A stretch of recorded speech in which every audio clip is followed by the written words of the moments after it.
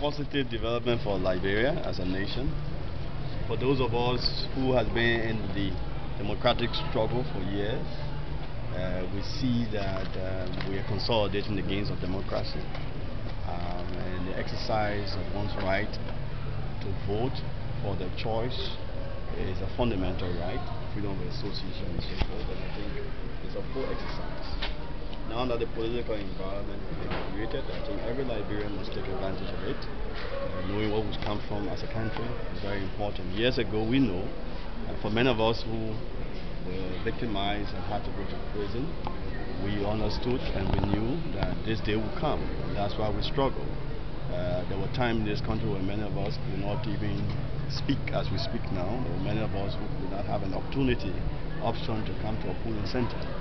So I'm very happy, and I think all Liberians should take advantage of it. So what do you notice on the ballot paper while voting? Well, I, um, I, I looked through the paper. Uh, as you know, on the on the paper, there are the issues of the uh, issues of the justices regarding the age which uh, the election commission uh, indicated was, was, was an error that needed to be corrected. Generally, the process is smooth. I came in and uh, there, there's evidence that this, the process is well organized. At least um, must give credit to election commission for that. Uh, the, the, people are guided uh, very well. Uh, so I think we must give them some some plus on that issue.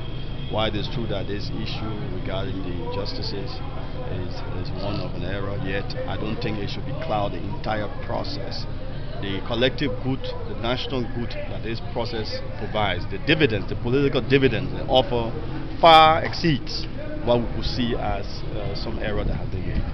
This, this is creating uh, skepticism. Uh, it comes at a time when people were already, it's one of the controversial issues. Uh, people tend to disagree with it, and then the election commission is claiming it made um, uh, uh, an error. People think this is an unacceptable error, and some people are calling for an action to be taken. People are outright to say Fromayan should be dismissed.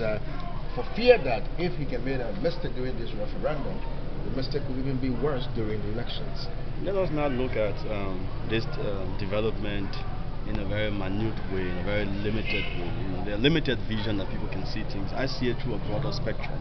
And I think, as I said, the collective national goal far exceeds what now constitutes an error in this case.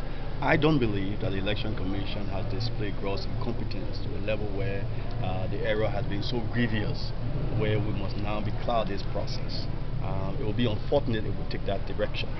I believe that uh, why this true this has happened, I think we can build upon it, and uh, the lessons learned from here will ensure that our national electoral process regarding political candidates, regarding the presidency and representative as well as senator will be much different.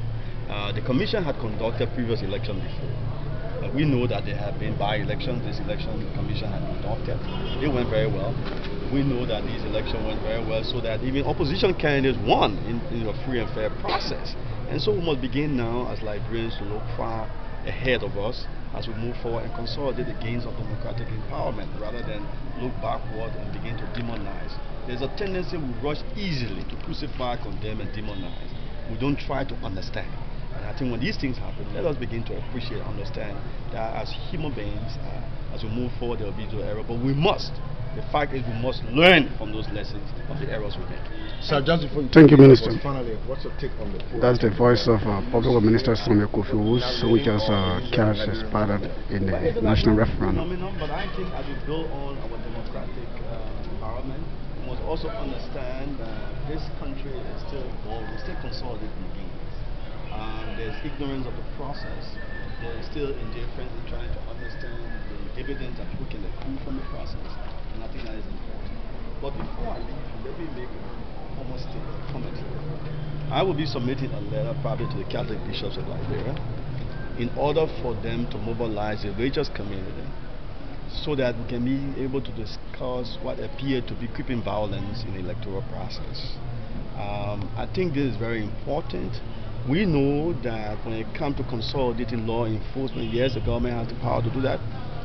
But I think we need to reinforce the moral order in this society and the religious community has a role to play.